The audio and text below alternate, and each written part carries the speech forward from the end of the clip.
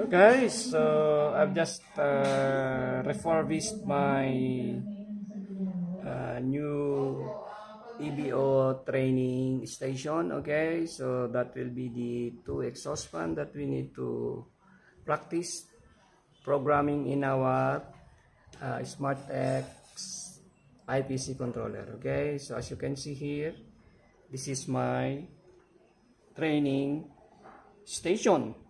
So shout out to all engineering graduates who wants to learn building automation or building management system. This station is waiting for you. Okay.